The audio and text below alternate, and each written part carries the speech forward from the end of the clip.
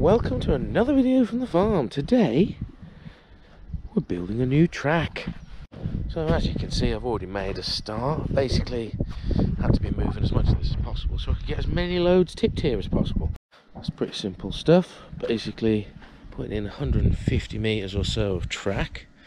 And as you can see, dug a trench out ahead. Oh, there's an injured fox doesn't seem bothered, just pottering about by the big old tree there. So, as I was saying, dug out the topsoil down to the sort of hard standing clay type material that's a foot below the surface at this bit of the farm. And then now, backfilling some of this hoggin that you've seen in previous videos I've used, which is basically a mix of stones, coarse sand, big bits of like sandstone, and then some clay. So when you can pack this down, almost forms like a rock layer. So it's a nice cost effective way to build up the track with a decent layer of stuff underneath compared to filling it all with roadstone. Got a bucket ready? Let's go and do some loads. As for the first part of this track, I'll need to fill in this hoggin all the way down to where I'm putting a little culvert in. If you're doing a track, you can probably do this in a one shot because it's a rare thing you've got a culvert in the middle of a track like I have. And then once we've got all this in position, layer of geotextile membrane over the top, and then a finishing coat of roadstone so it's a drivable surface all year round. Yeah, weather's kicking up though, so I'll get to it, do some loads. So, back on the track. No seconds at all for you, but a couple of months for me And we now have a classic example of why you always start a job that you finish. Yeah, a lot of growth either side of this track and it's now looking a bit of a mess even though I've just mowed it. But we've obviously got a fair bit more hoggin to put in and the stone to go on top. We're back on this now. Next job on the list, finish the track. Right, let's crack on. And I'll start moving this last 80 ton of hoggin finish that corner of the track off.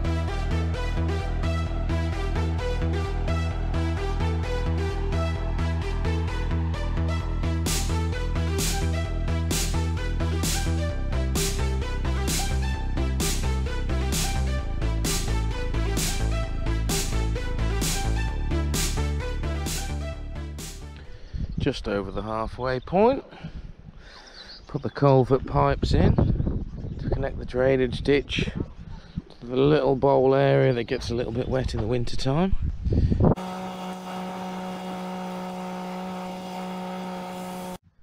So I quickly did this the other night as well. Threw in like 30 sandbags over the top of the culvert pipes. Now we've got a good little bridge across and a nice area.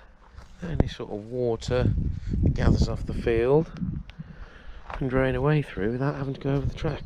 And then it's only when we have sort of the one in 10 year floods or whatever we have any water come through this field. So that'll just glide over the top of this straight into the channel the other side. And at the same time act as a bit of a flood defence for downriver as yeah this will obviously slow the flow up having this little mini dam here on this sort of flood field zone. Can't really see because it's uh, wildly overgrown on this side but I've sort of been doing a similar thing but out of natural material which I sort of decided to do because the River Trust have built a few smaller ones a bit further down the drainage channel there but I thought put a big one in at the top end and they thought that was a good idea too. So I basically had the digger push a lot of old wood various big logs and twigs and stuff all in, you can sort of see the top of it there the into a bit of a beaver dam almost so again when it does build up water back on this side slows it right down there so then this will pool for a day or two and slow down oh god knows millions of gallons of water i would say behind it even though it'll only be sort of three inches difference to where it was originally we're not far. Just this corner left to fill in basically with this hoggin, then we'll get the membrane down. Then we'll put the top dressing of stone on and then we're basically done. So let's crack on another 100 loads and we'll be there.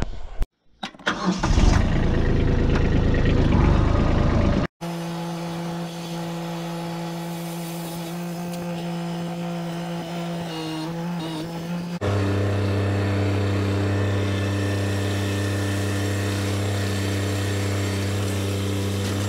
So that's all the hoggin in now. Last sort of job before we can finish the track with a stone. Put this membrane down. Now you've probably seen all this before. It's basically just like a, a weed barrier membrane, woven cloth it is. It's pretty thin stuff. But putting this on top of the hoggin uh, before we put the stone will mean that the stone doesn't sort of press into the bottom layer as much. And we should have a much harder wearing top surface, hopefully. So it's just a case of rolling this big roll all the way down there now as this should be the width of the track.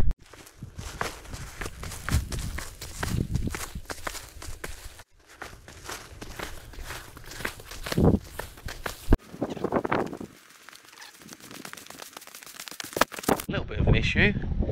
The uh, little Kubota tractor is out of action. Something up with the fuel think it's the injector pump. It's maybe got blocked up with a bit of crud somehow. It had been a long time since checked the uh, fuel filter. Lack of maintenance and all that. So now just hand filling up the old dumper and tipping it and then spreading it by hand. So a bit of a laborious process, but getting there. Just need to basically get this corner done enough that the wagon can turn around the corner and then maybe start tipping as they drive or just get it all here ready for when I've got the tractor fixed. So uh, yeah, got some of that spread out. But uh, main delivery of this recycled hardcore has come a day early from my friend's farm. So he's managed to tip it roughly as he goes with the tractor trailer.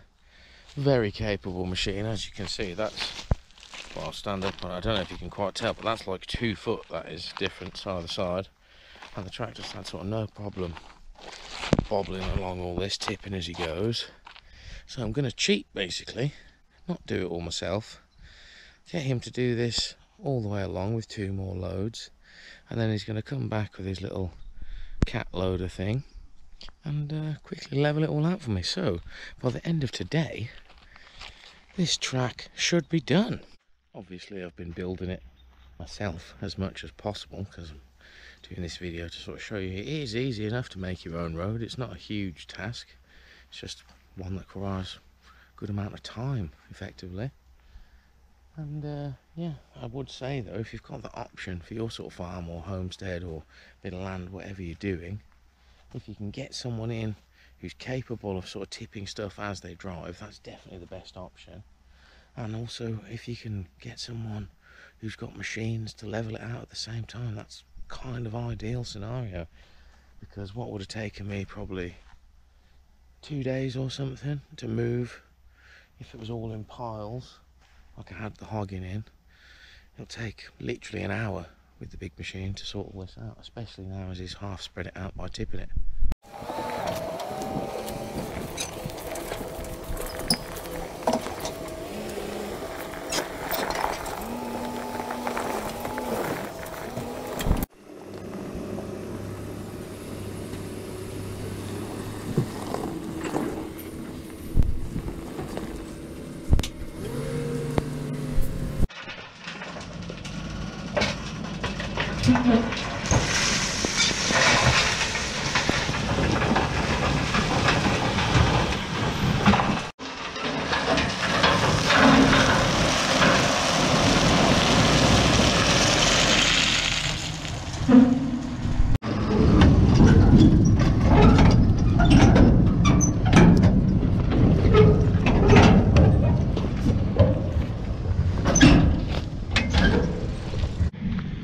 yeah so I've uh, just walked back inside to get the GoPro.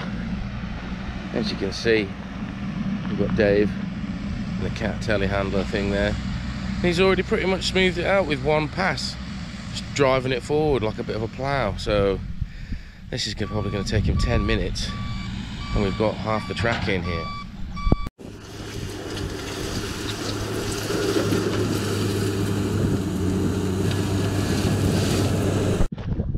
Oh baby, she's in. So yeah, little tractor broke, so I had to cheat a little bit and get my mate's big old Manitou with a two metre bucket to push out most of this.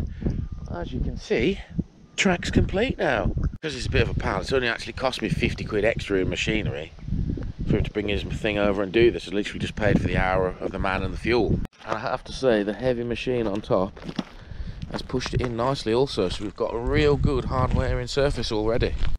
So I hope this quick video has given you a few ideas on how sort of relatively easy it is to make a road or a track yourself. And if you're going to have a go, follow some of the steps I did and you should get there, no problem. Though I would recommend if you can afford it, just get someone in with a big machine straight away to level it all out for you. It'll take them a couple of hours tops, whereas it'll probably take you a few days, maybe a week. Till next time, bye bye.